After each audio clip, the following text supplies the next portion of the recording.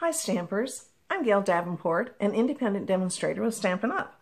Today I wanted to show you the card we're going to be making and it's from this Love What You Do stamp set. I cannot get enough of this stamp set. My mind just keeps racing with so many different things to do. But today, this is the card we're going to make.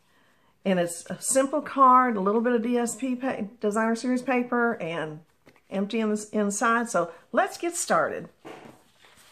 First of all, here's my measurements. This is eight and a half by five and a half, scored at four and a quarter. So we're going to fold it in half.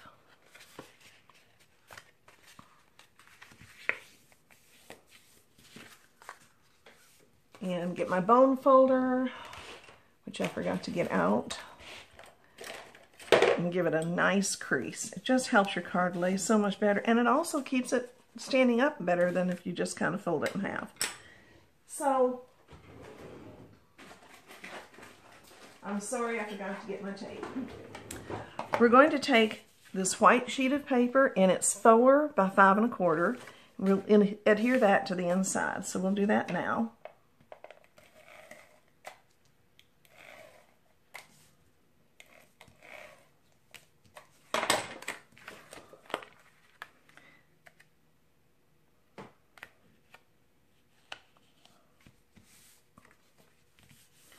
The outside measurements are not too terribly difficult. This is going to be one inch by five inches. And what I did is I just put it down a little bit from the top and let that border, because I'm going to kind of switch these around a little bit as to how I do them. So I'm taking this and now I'm going to leave me just a, the smallest border. And the writing, even if you can't read it, does have a direction. So you kind of want to make sure that you get your writing going the, the right direction. Then I took a piece of Calypso Coral paper and I ran, ran it through our wood plank uh, embossing folder and I cut it down to two by, I forgot the measurement, I'm sorry, by four and three quarters. And I'm going to adhere that down toward the bottom and overlapping the designer series paper just a little bit. The designer series paper we're using is in the Share What You Love suite. And I mean to tell y'all, it, it's awesome. You can't get enough of it. I just, I can't say enough good about it. I absolutely love it. I love the paper. I love the fact that you get some freebies. Um, the bigger kit that you buy, the more freebies that you get. And, you know, it's a, as far as I'm concerned, it's a win-win. Then I took this piece, which this is the other side, incidentally and it measures at one and a half by four and a quarter. And it's going to be the same width all the way over. And what I did on the end is I just made a little banner. And I cut it.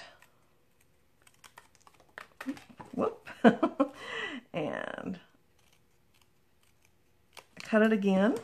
Don't need those. And then I just adhered it.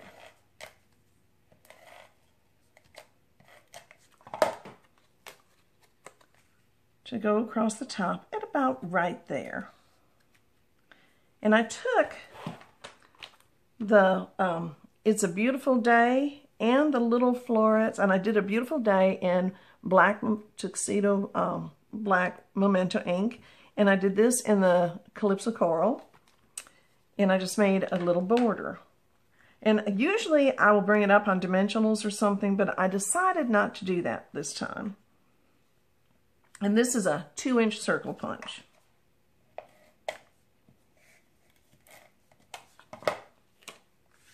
And I just kind of tried to put it somewhere near the middle. And then I went ahead and I put, I made a little tiny bow with our linen thread.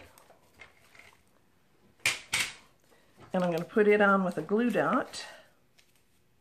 And I just kind of roll it with my fingernail when it's bigger than I, I want it to be, and especially when it's just this tiny little twine bow, you don't want to do too much. And then I kind of decided, well, which way I want my strings to go, I guess. and I just I just put it on there, and I just it just turned out cute in my opinion. Um, you can do whatever you want to do with it, but this is just what I kind of came up with. So I hope you like it.